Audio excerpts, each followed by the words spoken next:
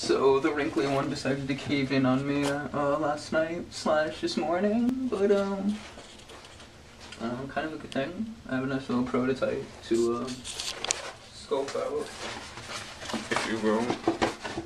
Um, there are, can't show you them. It's the armholes. There is a nice, uh, super professional duct tape. Uh, strap there. So it's basically, um, think of like a, uh,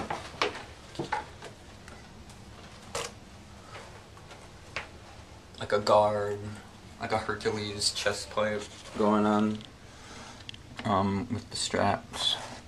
But that's basically what it sounds, and, um, my shoulders are shown, but that's all good and um, yeah the circumference of the the neck is looking good with uh, this.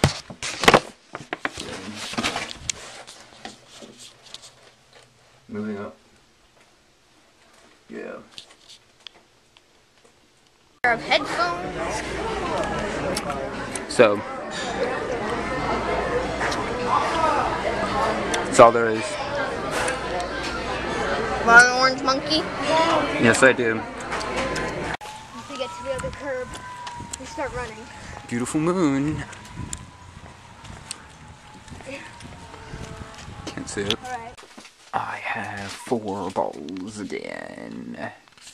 Yes, I lost one. See you in three hours. Princess Half Marathon.